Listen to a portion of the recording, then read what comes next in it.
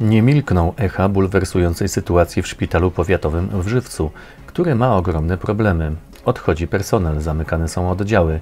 Szpital twierdzi, że przyczyną kłopotów jest Narodowy Fundusz Zdrowia, który nie zapłacił żywieckiej placówce za nadwykonania i kontrakt nieadekwatny do liczby leczonych pacjentów.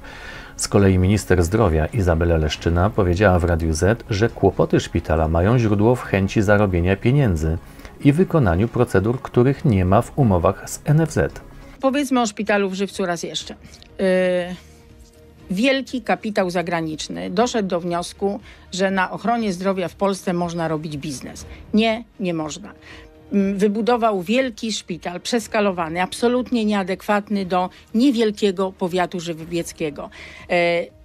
Świadczy, znaczy świadczeniodawca, czyli szpital, ma obowiązek i taki ma kontrakt z NFZ-em zapewnić bezpieczeństwo zdrowotne mieszkańcom powiatu żywieckiego.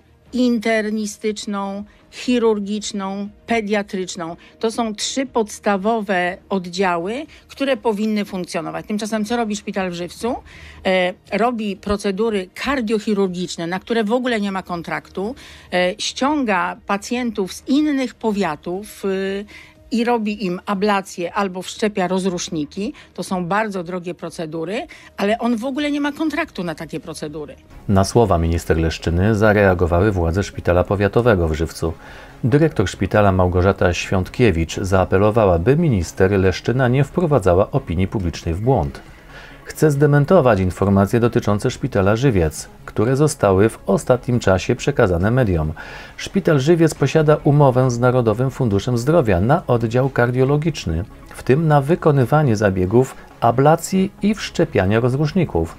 Oczywiście mam przed sobą tę umowę i mam również katalog świadczeń jako załącznik, gdzie wprost są zapisane procedury, które szpital może wykonywać, więc niezrozumiałe jest to, dlaczego po raz kolejny pani minister przedstawia nieprawdziwe informacje dotyczące naszego oddziału kardiologicznego, mówiła dyrektor placówki. Jak widzimy, minister zdrowia mówi co innego, a dyrektor szpitala co innego.